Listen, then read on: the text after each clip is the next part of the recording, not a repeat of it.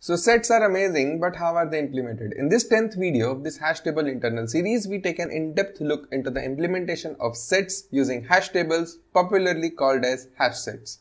We'll go into the implementation details and performance tuning of sets to see how they are built on top of hash tables having chaining and on hash tables having open addressing. But before we move forward, I'd like to talk to you about a course on system design that I've been running for over a year now. The course is a cohort based course, which means I won't be rambling a solution and it will not be a monologue. Instead, a small focused group of 50-60 engineers every cohort will be brainstorming systems and designing it together. This way, we build a solid system and learn from each other's experiences. The course to date is enrolled by 600 plus engineers spanning 9 cohorts and 10 countries. Engineers from companies like Google, Microsoft, GitHub, Slack, Facebook, Tesla, Yelp, Flipkart, Dream11 and many, many, many more have taken this course and have some wonderful things to say. The coolest part about the course is the depth we go into and the breadth we cover. We cover topics ranging from real-time text communication for Slack to designing our own toy load balancer to CricBuzz's live text commentary to doing impressions counting at scale for any advertisement business. In all, we would cover roughly 28 questions and the detailed curriculum uh, split week by week can be found on the course page which is linked in the description down below. So if you're looking to learn system design from the first principles, you will love this course. I have two offerings for you. The first one is the live cohort based course which you see on the left side and the second one is the recorded course which you can see on the right side. The live cohort based course happens every two months and it will go on for eight weeks while the recorded course contains the recordings from one of the past cohorts as is. If you are in a hurry and want to binge learn system design, I would highly recommend you going for the recorded one. Otherwise, the live cohort is where you can participate and discuss things live with me and the entire cohort and amplify your learnings. The decision is totally up to you. The course details, prerequisites, testimonials can be found on the course page arpitbhayani.me slash masterclass and I would highly recommend you to check that out. I put the link of uh, the course in the description down below. So if you're interested to learn system design, go for it. Check out the link in the description down below and I hope to see you in my next cohort. So set is an amazing data structure that keeps track of everything unique. It powers operation like union, intersection and set difference. But the core idea is that it would try to keep everything unique in the set while discard everything redundant. For example, if I'm trying to put apple, ball, cat and dog in my hash set, if I'm trying to insert another apple string in this hash set, it would discard it right? So at the end, your set would only hold everything unique. Now, how do we implement this with hash table? So one key thing to note over here that your the keys that we are putting in in the set, they all have application context. For example, I want to store English words in my set. But the hash table understands integers, right? Because using integers, it is trying to find the perfect slot and place it there, right?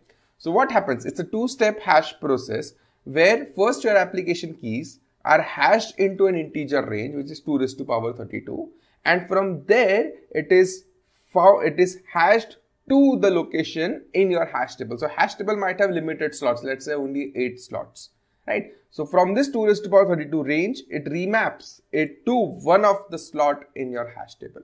So the first conversion happens from string to integer 32 and from integer 32 to a small integer which would be the index in the hash table. And this is where things become interesting because now say multiple application keys can hash to the same location, right? And then when those keys are placed, what we have to do is we cannot just rely on the comparison of the hash key to see if the key exists or not. For example, let's say cat and dog hash to the same location, right? Now, when I'm looking for, let's say, dog, I would have to go to the hash table and actually, I'll, I've like in almost order when I've reached to that array index. But there I have to do explicitly key check that, hey, is this key really cat or is this key really dog? What I'm looking for, right? And this, this comparison is really important and this is expensive also because it depends on the application context. So if you are passing in string, we have to do string matching or we have to do string equi uh, we have to do a string equality check in order to see if the key is exactly cat or dog. So even after you reach to that location, you would have to do a key comparison to find out if your key is the one that you are looking for. Right. So this is really interesting and it changes a lot of things. Now, what do we need to store in the hash table? Right. Up until now in the hash, like what we are trying to store is we are trying to store a key which has an application context. For example, a string of an integer. It could be an object as well, right? It could be a struct instance. It could be anything. So now what do we have to store in the hash table, actual hash table would be key. Like let's say if I'm implementing it in C, I would store a void star so that I can put, so it has to be a generic type so that I can literally put anything and everything that I want or in there. And apart from that, I should also have a hash key, which is when I pass this key through the hash function, I get a 0 to 2 raised to power 32 hash. I need to store that hash key over here as well. Why? Because computation of hash function, uh, sorry, computation of hash from a key is very expensive on the CPU. You do not want to recompute it again and again. So that is where you might or you need to have an integer 32 uh, you to have a 32 bit integer where you are storing the hash key that you have computed so that you save time by not doing recomputation and just keeping it handy for you to do a quick check. Another implementation detail. Now, here, if I am accepting a void star, which means a generic type of object to be stored in my hash table, how would I know that if this key is equal to the key that I'm looking for? For example, cat and dog are placed in the same slot in the hash table how would I know that when I'm looking for the dog, I went through this index, then that index stores cat, and in the next index there is dog. I have to do that comparison, I have to do that string comparison to check on what is exactly is the string that I'm looking for is exactly cat or a dog or what it is. Right? I have to do that string equality check, which is where because we are accepting a generic type void star, we have to also accept a comparator function whose job would be given two keys, it would tell if they are equal or not. And your hash table needs to take this while building itself, right? So as part of your constructor, as part of your setting up your hash table, you need to accept a generic key comparator function whose job would be given to given to uh, keys, it would tell if those two keys are same or not. And because this depends on the application context, it's responsibility while setting up the hash table to provide this key comparator function. Right? so that our hash set implementation becomes generic enough. Right? Okay. Second, second implementation detail. When we delete a key from the hash table, it may be our responsibility to clean them up. Right? So for example, if you're if you're building hash set or a hash table on uh, a language that does manual memory management, it might be possible that hey, our hash table is the last reference of the particular key or our hash set is the last reference of our particular key.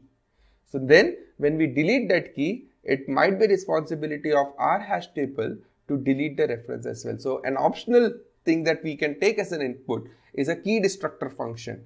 So whenever we are deleting a key, we would invoke the key destructor function that is provided to us during the initialization for that particular key so that we can do free and other pointer changes if we would need to.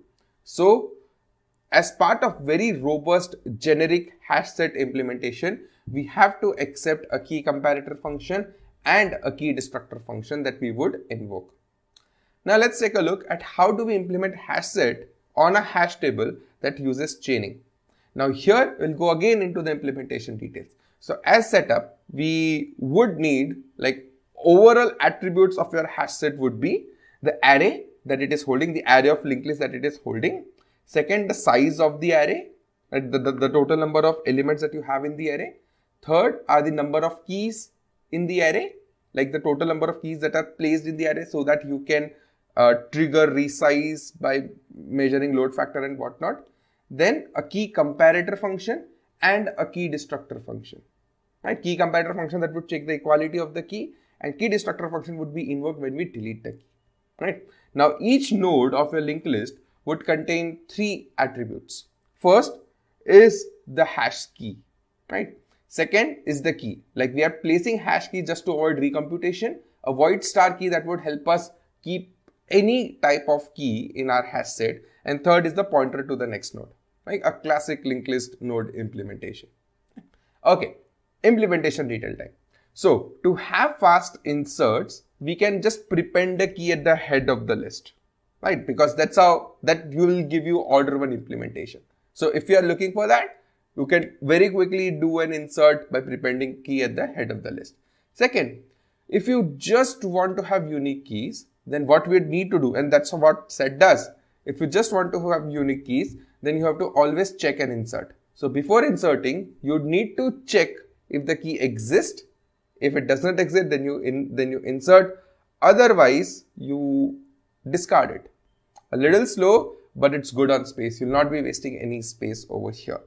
But you have to keep in mind that this would make your insert a little more expensive than what it needs to be. Right? So up to you on your implementation or how you are trying to drive that. Everything is a trade-off. Right. Now let's take a look at implementation of hash set with hash table having open addressing. So open addressing, we don't use an auxiliary space. We leverage the existing free slots from your from the array that we have. So here hash set would overall have array, number of keys, number of active keys that it has, the number of slots that are used, key comparator function and key destructor function. Very similar to what we had in uh, hash table, uh, hash set implementation with chained hash tables, something very similar.